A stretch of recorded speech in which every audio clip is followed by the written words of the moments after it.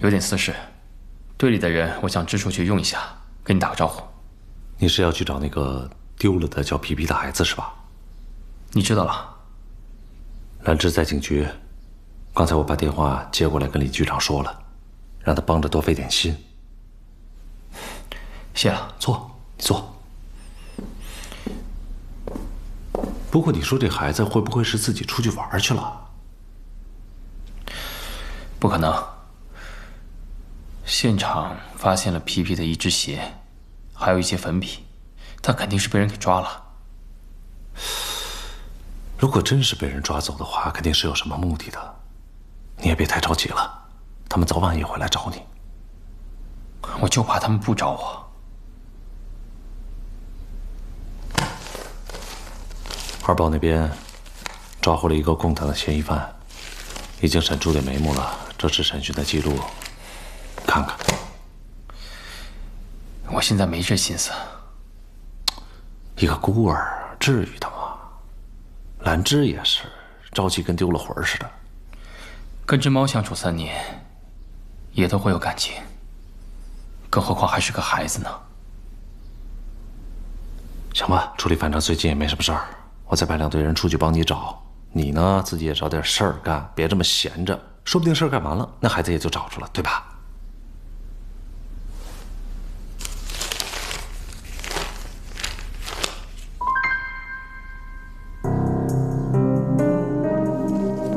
回家计划。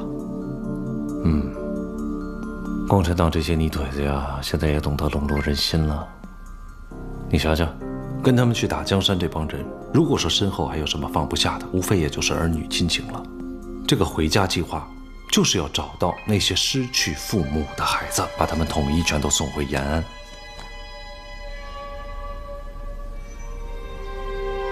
李小楠是死了，但是你亲姑的嫌疑还是不小，好好抓住这次机会，给自己扳回一局，要不然以后你在特工总部的日子不好混，明白吗？怎么没有问出他们到底要哪些孩子？问了呀，他说他自己也不清楚啊，说不定是嘴硬死扛。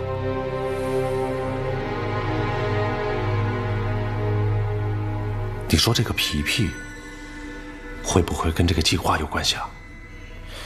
你觉得会有关系吗？他的身世你了解多少？一个在淞沪会战时在废墟里捡到的孩子，他也不会说话。你觉得我能了解多少呢？李小楠好像对他挺好的，是吧？你觉得皮皮是中共的孩子？庞勇被捕，皮皮又失踪。这两件事情撞在一块儿，真的是巧合啊！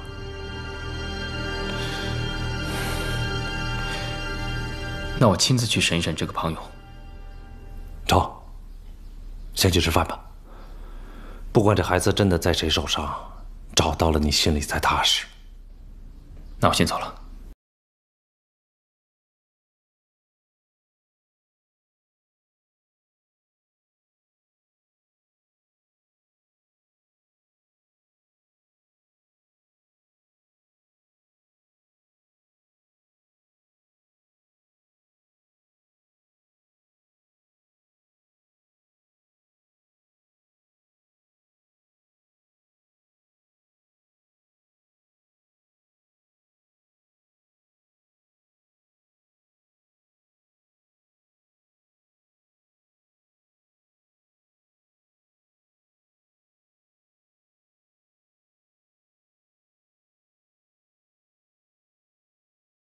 身份。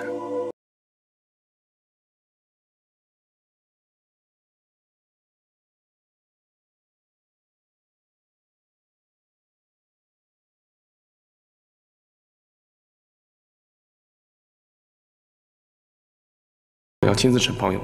他跟我说了，一般的人让他审，他都不会去审。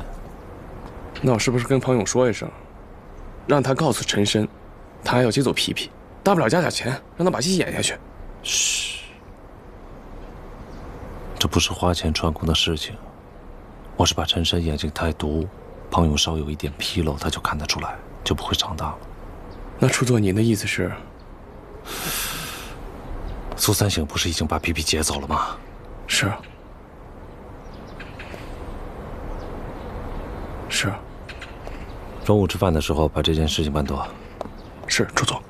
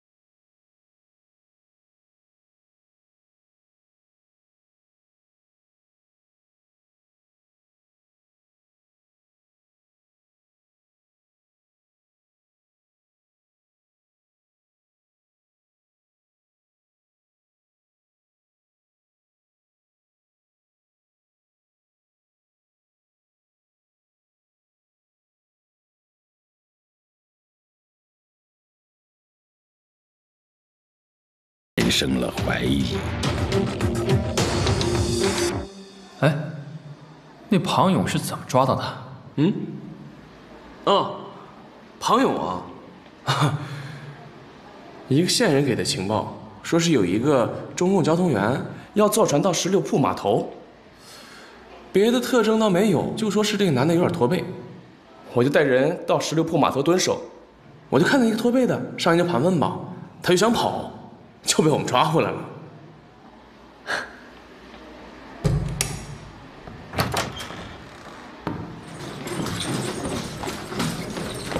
哎，啊，怎么样了？啊，应该没有生命危险了，还在昏迷中。哦。如果有人问你，你会怎么说？病人的舌头切口平整。很明显是被刀或者剪刀给切断的。我让他告诉你怎么说，你就说病人的舌头是自己咬断的，懂了吗？懂了，谢谢。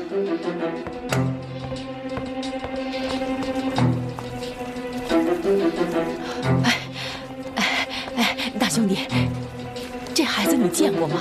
没有。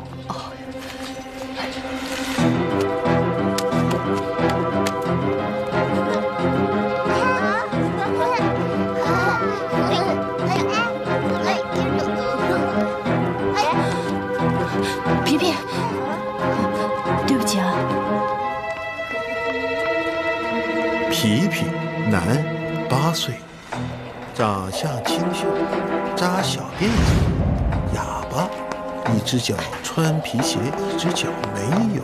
哎，大兄弟，怎么了？你见过这画上的孩子？嗯，今天早上在秋风渡石库门，好像是有个男人抱着这么个孩子。大概这么高？差不多，扎扎个小辫子，他趴在那个男人肩膀上，好像睡着了。你在哪儿看见那孩子呀？我就在巷子口碰了他一面。那个小孩子啊一只脚没穿鞋，所以我就多瞧了一眼。是皮皮，一定是皮皮。大兄弟，谢谢你了。哎，不客气。喂，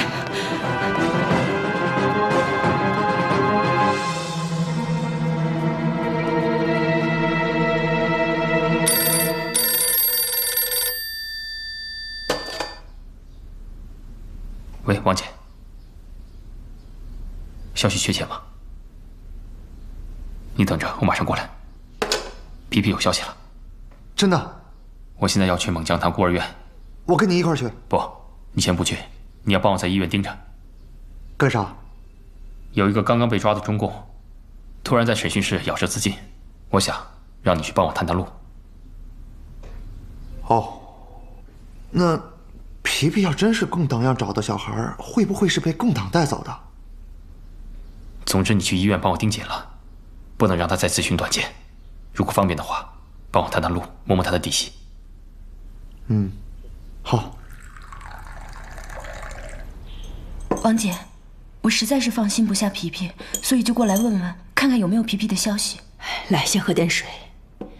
哎，陈深来了，等会儿啊，我开门去。陈深，陈深，你怎么在这儿？你不要批评我了，我这一路上都是挑着偏街冷巷走过来的，真的没有人注意我。我就是想帮着一块找皮皮。胡闹！要是找不到皮皮，你把自个儿弄丢了怎么办？所长，阿顺来了。所长，有什么要吩咐的？是这样的啊，我有一个任务要交给你啊，你带着皮皮啊，住到我们已经在秋风渡安排好的房子里面。如果有人想要带走这个孩子的话呢，你一定要逼对方亮明自己的身份。从现在开始，你是一个中共地下党，应该错不了。扎着小辫儿，丢了一只鞋，年纪也对得上，那肯定是皮皮啊。如果真是皮皮，我觉得不应该是睡着了，应该是被人打晕了。不管怎么说，我们也得到秋风渡去找找。王姐，你跟老 K、皮蛋先去找。你记住，无论找到任何线索，千万不要轻举妄动，只管记下地址，回来我们再商量如何营救。嗯，我知道了。那我呢？我要做什么？你赶快回去。不行，我不回去。皮皮没有找到之前，我真的不太放心。哎呀，这大白天的，让他一个人在外边多不安全呐！要走也得等天黑再走。行，你们快去快回吧。哎。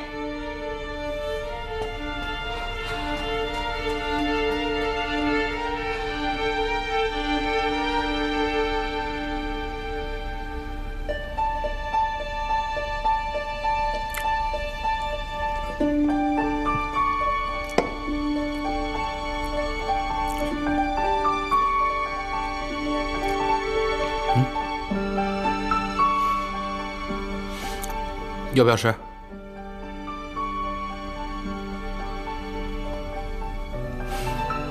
你是个哑巴，但听得见我说话，对不对？看来你不怕我，挺勇敢的，像你爸妈一样。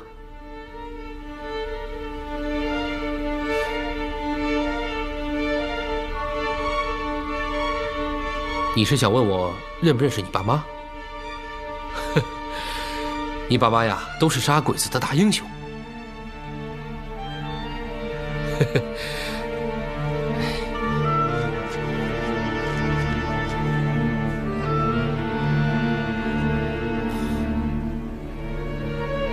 行行行，行了，你乖乖听话。现在外面的人都想抓我们，我们要等别的叔叔来救我们，带我们离开，知道吗？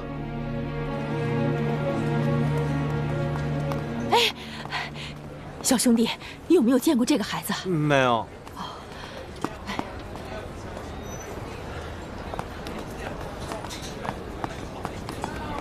太太，嗯，有人说今天一早这个孩子在这出现过，你见过没有啊？搿个小人啊？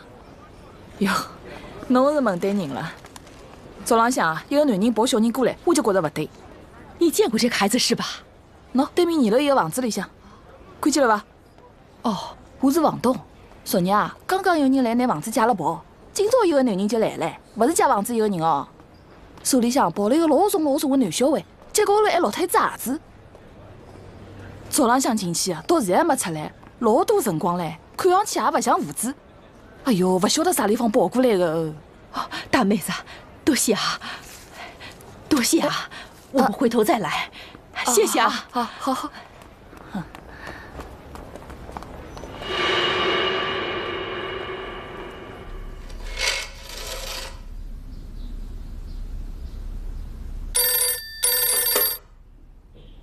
喂，喂，毕处长，我是苏三省。哦，苏所长，鱼已经上钩了，我估计陈深会亲自去救人。那这么说来，苏所长有什么具体的建议吗？我希望毕处长能帮我物色一个非常出色的狙击手。陈深，我估计他不会只身前往的，他会带帮手。我们只需要在他的对面埋伏一个狙击手，这样子的话就可以不动声色地干掉他的帮手。好。我给你安排。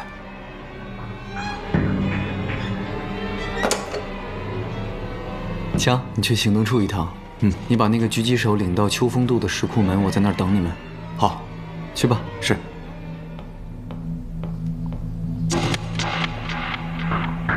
毕仲良，如果我没猜错，这个狙击手就是曾经打伤我，还打死我姐姐的凶手。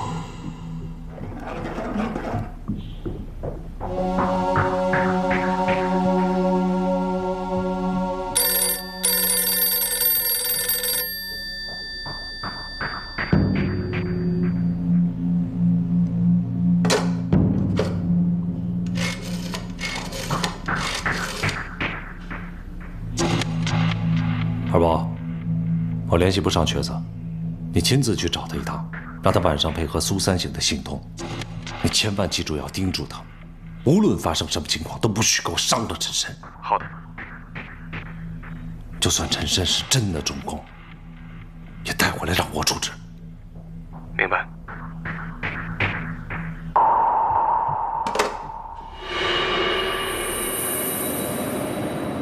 这都该吃饭了，怎么没个人来换班呢？是啊。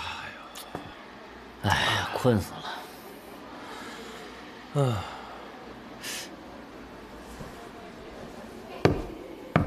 呀，兄弟们辛苦了啊！走走走走走，剪头哥，走。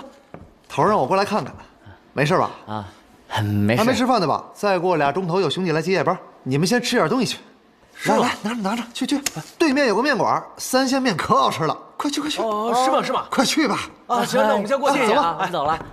加块五香豆腐干啊！哎，好嘞，去吧。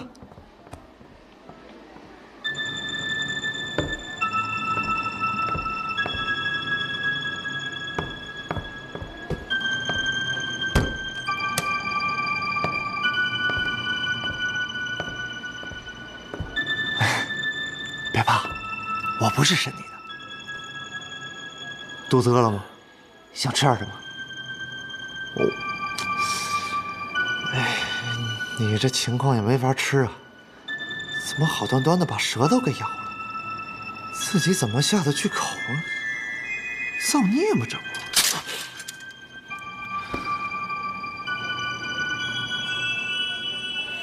不？我看你不像共党啊！我们以前抓的那共党，不是招就是扛，你这又招又扛的，什么意思啊？你是不是有苦衷？是不是有人逼你这么做的啊？你跟我说，我能帮你，真的。啊啊，说。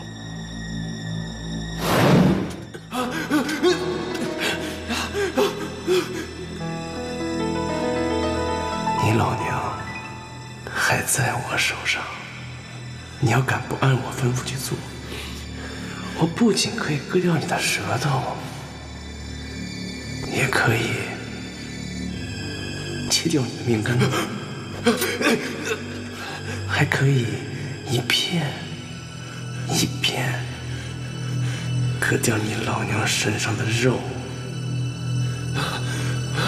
你最好给我放聪明点，知道该怎么做了吗？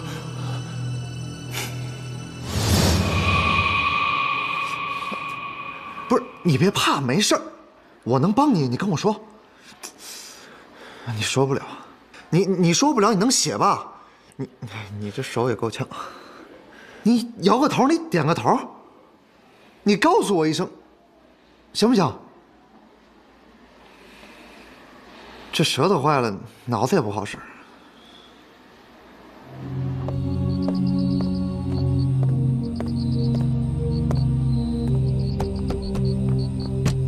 哟，小队长来了。刘妈，李相庆，李相亲。刘妈，谁呀？嫂子，陈深，皮皮找到了没有？暂时还没有消息，不过有人说在码头见过他，我已经派兄弟们去找了。如果有消息的话，马上通知你。可是这天都黑了，那肯定更不好找呀。别着急，吉人自有天相。啊，老毕还没回来呢。没有呢，这不晚饭都做好了吗？也没见着他回来吃。老毕这个人就是心事太重，一有事情连饭都吃不下。最近处理事比较多，你做几道好吃的菜，我回去的时候给他带过去。对呀，这外面的饭哪有家里的饭好吃啊？你待会儿一定要看着他把饭吃了。你告诉他，什么事情都没有身体重要，晓得吧？嗯。哦，他平时如果吃不下饭的时候，他馄饨是肯定要吃的。你等我一下，我现在给他包馄饨去。刘妈，过来，给我多点肉馅，我们包馄饨。哦，好好好。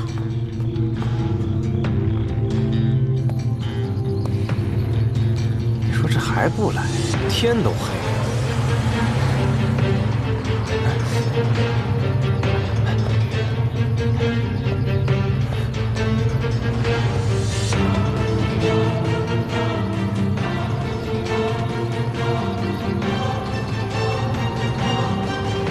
把车子给我调头。是。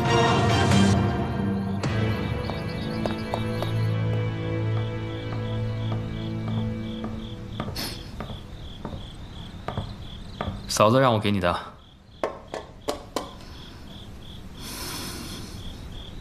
那还真不嫌麻烦。爱你的女人怎么也不会嫌麻烦。快吃吧，不吃的话她会找我算账的。亲手给你包的馄饨。能给我包馄饨的人，都是这一辈子对我最好的人。我娘在我小时候给我包过馄饨。我生病，医生都说我没得治了。我娘拿着家里所有的钱去买了一小块肉，回来给我包了碗馄饨，说让我吃饱了好上路。后来我大难不死活回来了。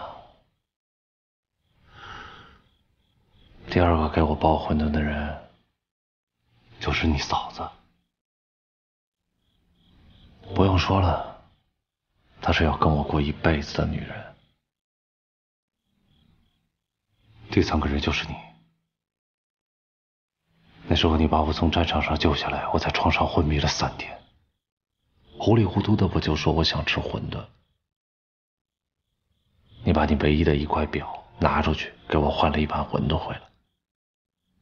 那个时候物价贵呀，这一碗馄饨跟仙丹似的，把我从鬼门关拉回来了。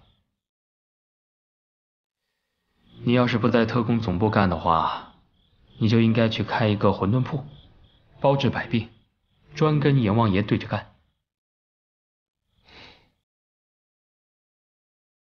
还是想做一个普通人是吧？当然了。但是你不是普通人，你也不是，我当然不是了。所以我不可能做一个平庸的生意人，每天为柴米油盐瞎操心。我来这世上走这一遭，就想看看自己能活成什么样。在日本人的眼皮底下，苟且偷生，如履薄冰。能活成什么样？在哪儿都一样。就算我真的做一个生意人，开一个门店的话，每天还得把客人当爷爷似的供着。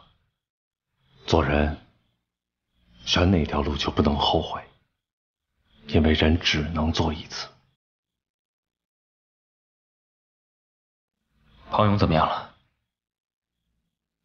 找人看着呢，等他恢复一点，接着审吧。皮皮呢？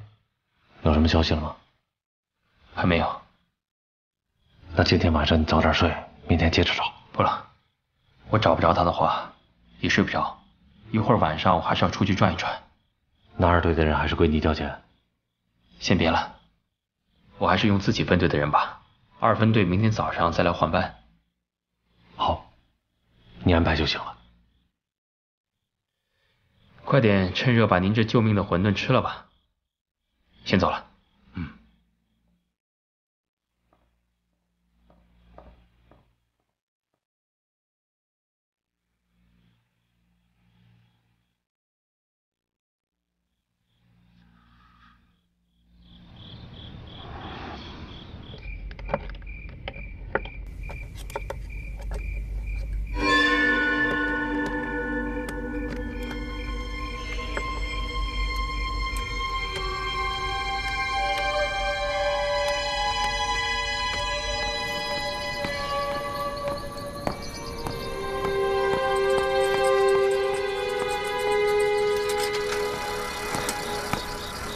头儿出去啊？对啊。皮皮找到了吗？还没有。医院那边怎么样？医院那边，嗨，别提了。姓庞那个真是舌头坏了，一句话不说。我说你别怕，我是来帮你的。嘿，不理我，根本就。不过我看那样，好像是有什么想说不敢说的样子。行，你先回去吧，猪猪还等着你呢。行，早上发的糕点还在办公室呢，我拿了就走。先走了。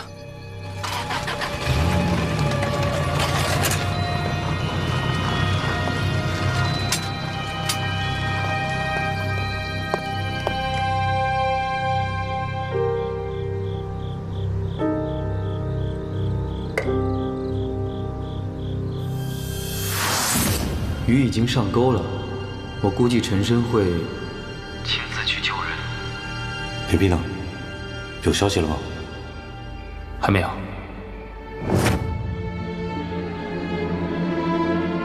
此刻，毕忠良的心情无疑十分复杂。陈深明明已经得知皮皮的下落，却没有向他求援，这说明陈深怕伤及绑走孩子的人。他担心那个人真的是共党，真的会如苏三行所料，他会即将露出马脚吗？这个疑问。像一个定时炸弹，让他心里憋得慌。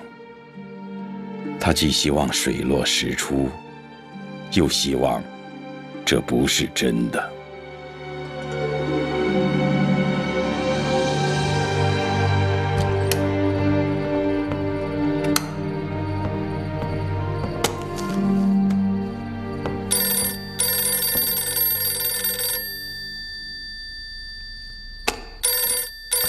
谁呀？喂？喂？哦，毕太太。你是扁头吧？陈深在哪里呀？啊，他出去了。出去了。哎呦，我想问一下，你们毕处长有没有把馄饨吃完啊？你晓得陈深去哪里了吗？呃，说是再去找找皮皮。他去哪里找皮皮了？不，不知道。你这个跟班怎么当的？怎么你们头去哪里你都不晓得的？他，呃。哦，秋风渡好像是去秋风渡石库门了，是不是有人看见皮皮了？好像是那个孤儿院的汪姐说的。汪姐说的，那肯定是真的。刘妈，喂，刘妈，哎，啥事啊？我出去一趟啊，待会老爷回来，你告诉他，我能和陈深一道找皮皮去了，让他先睡觉，不要等我了啊。哦，好。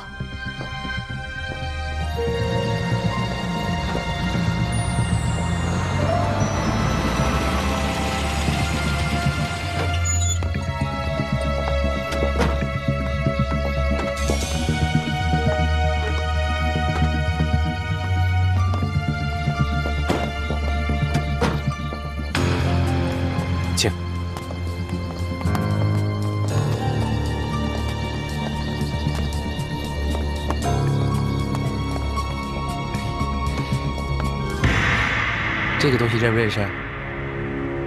咱们玩个游戏好不好？把这个东西绑在你身上，坏人就不敢来了，爸爸妈妈就能见到你了，好不好？哎，真乖啊！哎，来，这边请。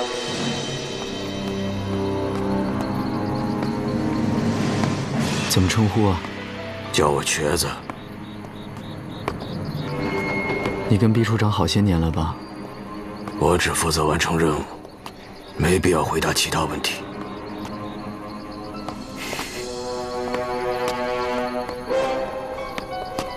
请。好了，坏人不敢来了。嘿嘿嘿。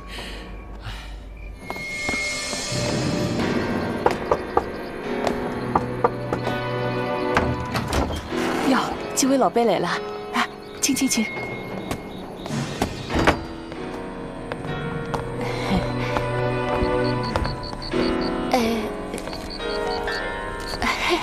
不管听见什么声音，都不能上来。哎哎，规矩我懂啊，我懂啊。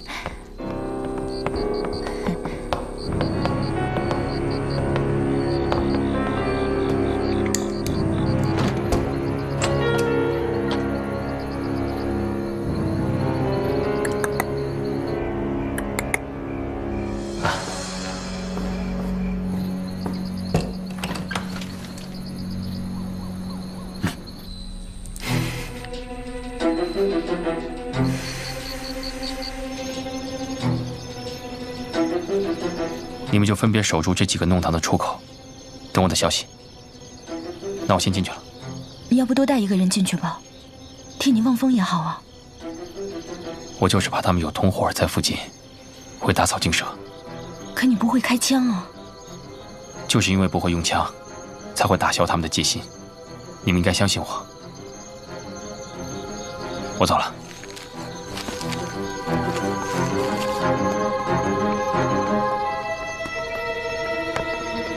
不用担心。好，一切小心。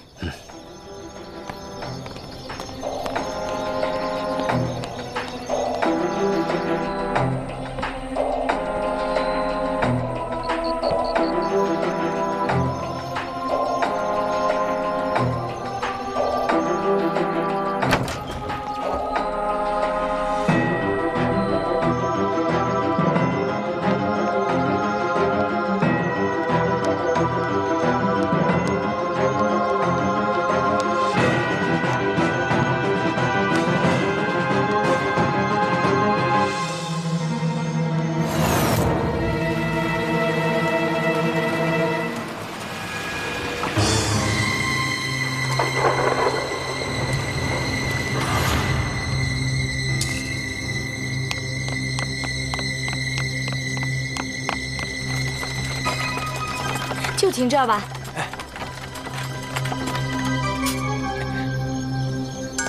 来，给你，谢谢啊。皮皮，皮皮，你在哪里呀？皮皮，皮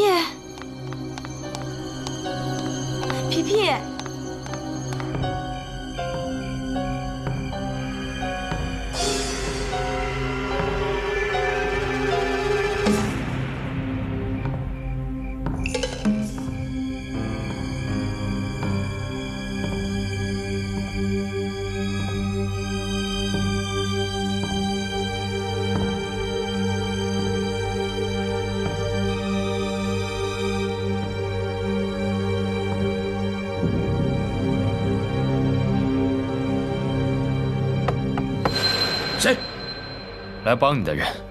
你是什么人？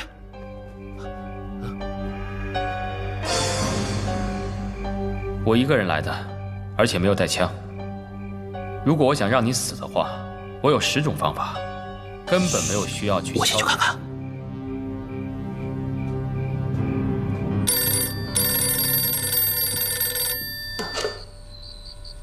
喂，是先生对吧？哎，刘妈呀，太太睡了吗？太太没困呀，出去了。这么晚又去什么地方了？呃，伊是去秋风渡石库门去了。呃，刚是帮陈队长一起寻小囡去了。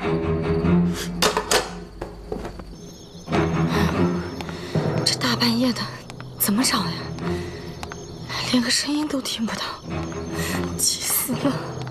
皮皮啊，皮皮！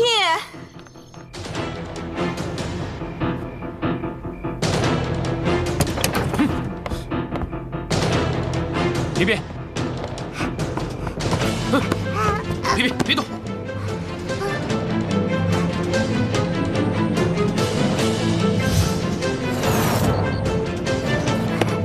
到底是谁？我是什么人不重要，重要的是你把这个孩子交给我。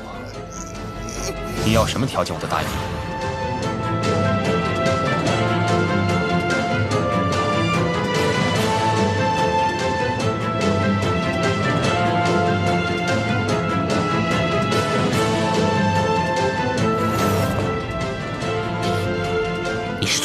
的人，对不对？你们抓走了庞勇，知道了回家计划，还想抓走我们的孩子，对不对？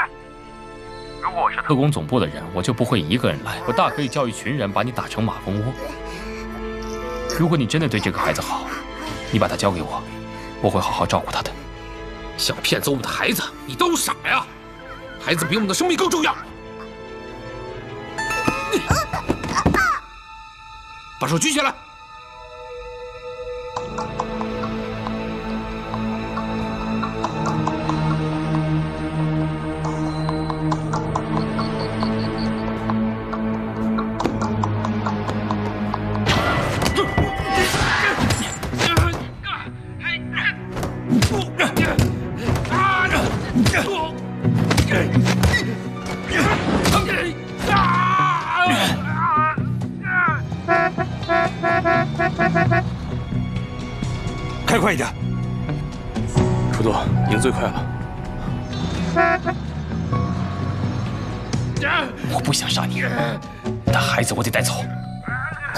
不上钩啊？做梦！除非你杀了我！鱼死网破是没有意义的，留着命你可以继续做别的事情。这个孩子跟我相处多年，我会好好照顾他。我要把孩子交给自己的统治。呀！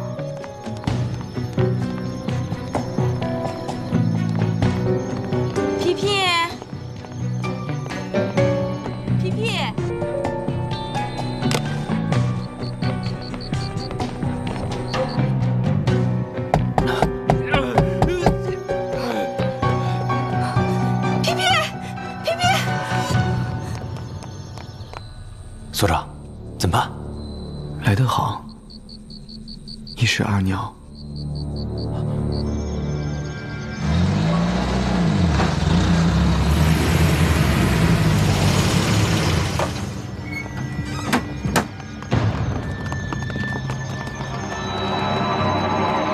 哎，等等，别动！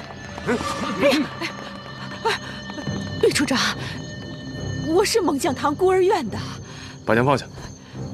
陈深在什么地方？跟我来，啊这儿。皮皮，皮皮，别怕，别怕，皮皮，皮皮，啊六一来了，别怕，皮皮，皮皮，陈深，都别动！好，我不动。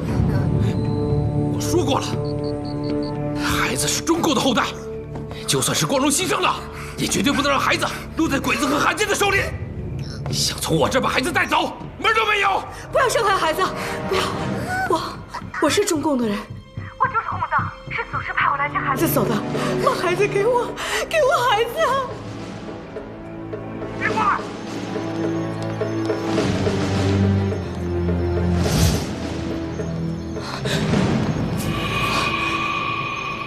陈深没上钩，没想。